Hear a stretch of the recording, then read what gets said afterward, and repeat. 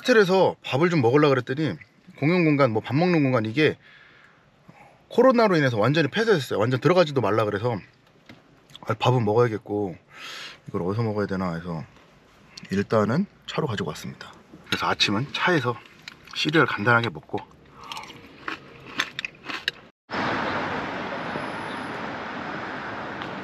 아 날씨가 좀 이래야지. 어?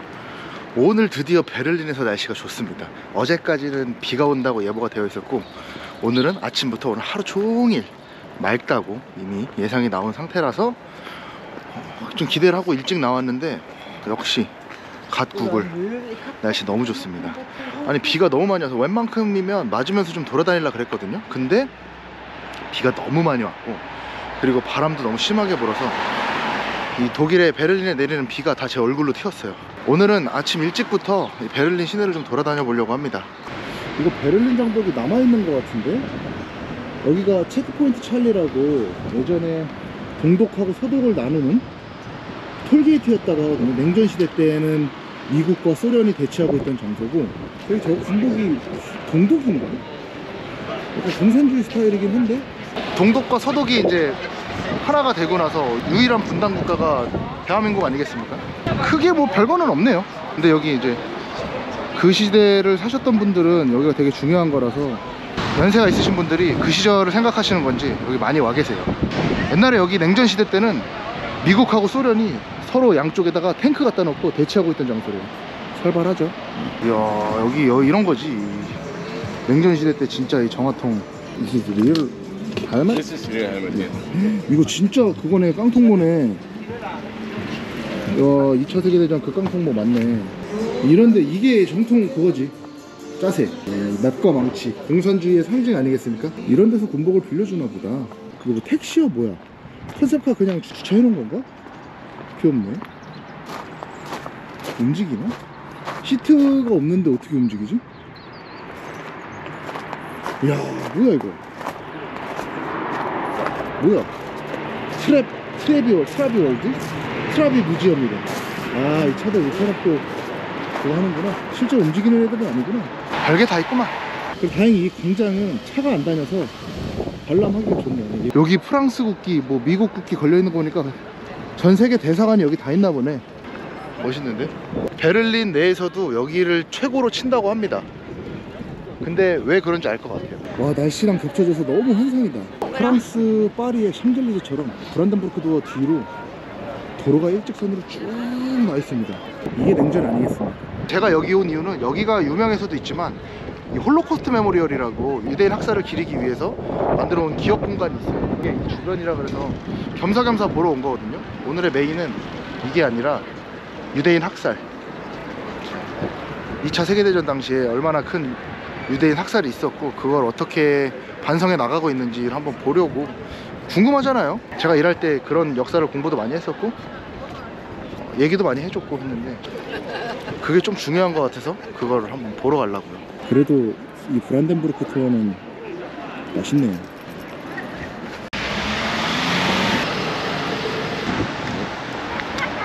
집계된 것만 수백만에 달하는 유대인들이 학살을 당했다고 하죠. 2차 세계대전 당시에. 누군지도 모르고 죽어간 사람들을 위해서 이런 식으로 기억 공간을 만들어 놨습니다. 언제 어떻게 죽었는지도 모르는 거잖아. 이런 걸 보면. 그만큼 많은 사람들이 죽었다는 거고 이름도 몰라요.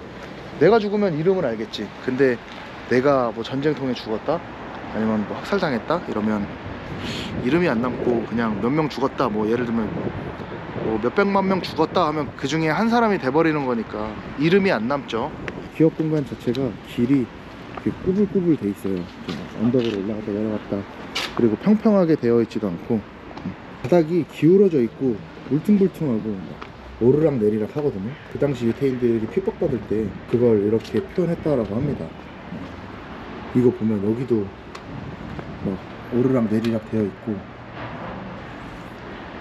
이렇게 돼 있는 게 여기에 이제 갇혀 있는 거야 내가. 이게 진짜 무서운 게 뭐냐면 얘네가 표현하려고 했던 게 제가 이 기억 공간에 갇혀 있잖아요 위로는 하늘이 보여요 하늘이 보이는데 나는 올라갈 수가 없어 너무 높아서 바닥이 울퉁불퉁해서 불안정하고 또 하늘은 보이는데 자유는 보이는데 나갈 수는 없고 그래서 여기도 되게 울퉁불퉁하게 돼 있고 걷기도 힘들게 만들어 놨어요. 그리고 사방을 봐도 똑같고 그렇습니다. 홀로코스트 memorial 여기 있으니까 좀 진짜 답답해요. 빨리 바깥으로 나가고 싶어요. 이게 이렇게 걷는다라고 생각을 해보세요. 지금 오르락 내리락 오르막길 내리막길 있는 거고 어딜 봐도 다 똑같아요. 어딜 봐도 다 똑같은 거야. 똑같은 사람들이 이렇게 갇혀 있다라고 생각을 해보세요. 처음에는 낮은 돌로 시작을 했다가 점점점 높아지는 거거든요. 음. 수용 기간이 길어지면 길어질수록 점점 더 희망이 안 보이는. 얼른 예, 나가겠습니다. 여기 진짜 계속 계속 똑같은 게 반복되니까 저기 저 끝에가 자유라고 생각을 하면 빨리 가고 싶어요. 더 빨리. 답답하니까 여기. 여기서 사람 잃어버리면 찾지도 못할 것 같은데. 조금씩 자유에 가까워지면 벽들도 낮아지고 주변 풍경도 보이기 시작하고. 제가 지나온 홀로코스터입니다. 유대인 박물관을 가봐야겠다.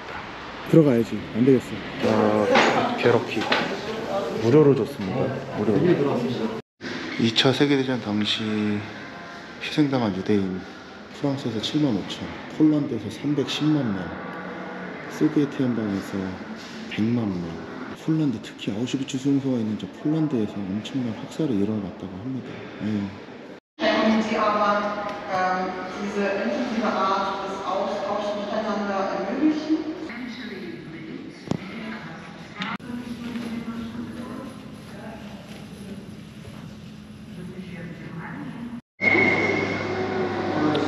수용소가 어떻게 있었는지 이걸 보여주네요. 공장은 어떻게 했었고 일은 어떻게 했고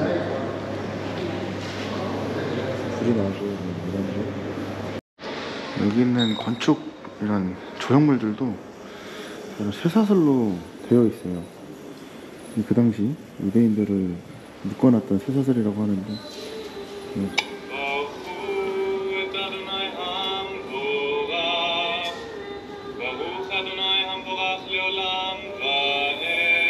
기도 전에 불렀던 노래라고 합니다.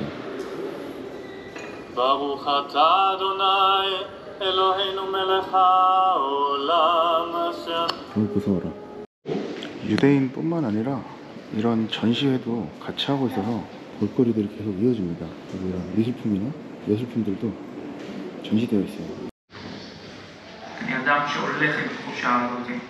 של אהבה שנאה גם ליהדות וגם למגדר שלו, לנשיות שלו. I think people who have parents that were active Nazis 야 보고 나왔는데도 아직도 줄이 저렇게 기네.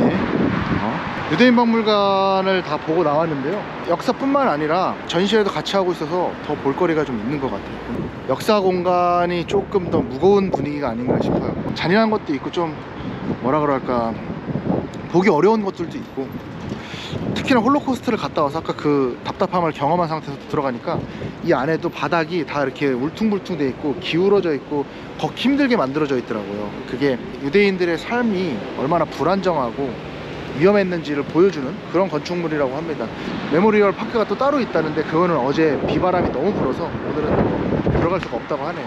베를린 일정이 다 끝났으니까 마지막으로 무스타파 케밥 한 번 더 때리고 그리고 악마의 다리? 독일의 악마의 다리로 이동을 하겠습니다. 아 무스타파 케밥 때릴라 그랬는데 줄이 거의 롯데월드 아틀란티스급이에요. 한 3시간 기다려야 될 것 같아서 이대로라면 오늘 다음 목적지를 못 갈 것 같아서 그냥 떠나고 있습니다. 그 옆에 뭐 커리 36 현지인한테 추천받은 핫도그집이 있는데 거기도 마찬가지로 줄이 한 티익스프레스급? 그래서 모든 걸 포기하고 점심 간단하게 먹고 오늘 저녁을 좀 맛있는 걸 먹으려고 해요 독일의 악마의 다리라고 소문난 데가 있어요 이름 자체가 그냥 데빌스 브릿지라고 하더라고요 그 악마의 다리로 뭐 이동해 보도록 하겠습니다 한 2시간 정도 걸린다니까 야, 이 아저씨가 so, Thank you so much Thank No you problem. yeah. Have a bye nice bye. time. Bye bye. 오 럭키 여기 악마의 다리 주차장 기본적으로 2시간에 3유로를 내야 되는데 그리고 이 티켓을 차량 대시보드에 올려놔야 하거든요. 근데 저 아저씨가 이제 와갖고 너 티켓 필요하냐고, 어, 너 티켓 필요하냐고 자기 티켓 있는데 4시 15분까지니까 그 전에 나갈 거면 이거 쓰라고. 허허, Thank you, thank you. 이렇고 여기다가 올려놓으면 됩니다. 이렇게 안 올려놓으면은 벌금 뭅니다. 벌금 내야 돼. 마음 편하게 악마의 다리 후딱 보고 여기가 엄청 그 외진 곳이라서 버스 타고 오기에는 진짜 힘들거든요. 웬만하면 차를 갖고 와야 돼요. 대중교통으로는 진짜 오기 힘들고 다 자, 자가용. 음. 이렇게 사다리 타고 오시는 분들도 있어요. 이 강 위에 악마의 다리가 악마에게 뭐 영혼을 팔아서 만들었다 뭐 이런 허허 그런 네 그런 스토리가 있는 다리랍니다 다리가 물 위에 비쳐서 완벽한 아치 그다음 완벽한 원을 그리면 그게 최고 view point라고 하거든요. 다행히 날씨가 좋아요. 다행히. 아 저기 슬슬 보이는 것 같은데? 악마의 다리가 이렇게 나와 있습니다. 우와. 저 뒤에가 지금 물에 반사돼서 완벽한 원을 그린 거 보이세요? 저게 악마의 다리입니다 이렇게. 근데 진짜 예쁘다. 여기서 보는 게 제일 예쁜 것 같은데 그래도 한번 저 가까이 한번 가볼게요. 가까이도 갈 수 있는 것 같아. 조금 더 가까이 가서 보고 저기를 건널 수 있나? 건널 수 있을지 모르겠네. 건널 수 있으면 좋겠는데. 저 위에서 이쪽 보는 것도 색다른 view point일 것 같은데 근데 저기 사람 찍는 분들이 너무 많아서 나 이러고 있으면은 작품이 안 나오잖아. 이거 되게 거창할 줄 알았거든. 엄청 크고 막 이럴 줄 알았는데 그렇지는 않아요. 그냥 아, 뭐라 그래야 되나. 그냥 동네에 있는 다리?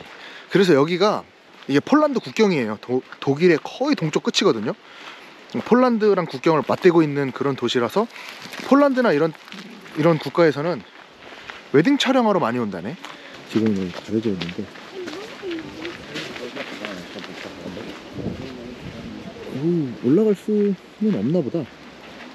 올라갈 수는 없고 펜스가 쳐져 있고 이렇게 그냥 볼 수만 이렇게 해놨네. 악마에게 영혼을 팔아서 만든 다리 치고는 조금 작지 않나요? 그렇습니다. 그래도 어, 뒤에 호수 그 물가까지는 한번 내려가서 봐야겠다 반대편에서 한번 봐야지. 근데 이렇게 이쁜데 이름이 좀 무섭다.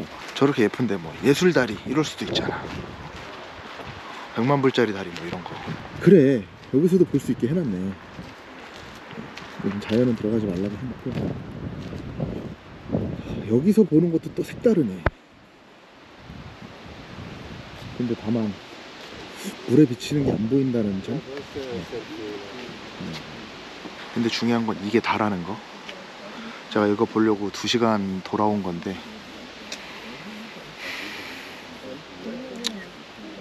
오케이 거짓말 안 하고 진짜 거짓말 안 하고 10분 컷딱 10분 됐습니다. 입구에서 악마의 다리 찍고 들어가서 찍고 다시 악마의 다리 입구에 나와서 나까지 찍고 가는데 10분. 주차비 3유로. 물론 저는 누가 줬지만 여기를 버스 타고 오려고 생각을 해보세요. 버스 타고 오면 안 되고 혹시나 폴란드 갈 일 있으면 중간에 잠깐 들려서 찍는 거고 굳이 막 악마의 다리 가야 돼. 이거는 아니라고 생각을 합니다 네 저는 그렇게 생각해요. 아 아쉽지만 악마의 다리는 여기서 끝. 바로 그냥 드레스덴으로 가겠습니다. 오늘 드레스덴 가서 밥을 좀 먹어야지. 오늘 어, 무스타파 케밥도 못 먹고 이랬더니 배가 너무 고프네. 하, 오늘이 아마 근데 마지막 캠핑이에요. 드레스덴이 유럽에서 마지막 한 달 캠핑 여행 끝내고 다음부터는 동유럽으로 이동하면서 차를 반납을 하고 이제 호스텔이나 아니면 숙소에서 지낼 거라 오늘이 마지막 캠핑. 삼겹살 파티를 한번 해볼까 합니다. 아 추워. 가시죠.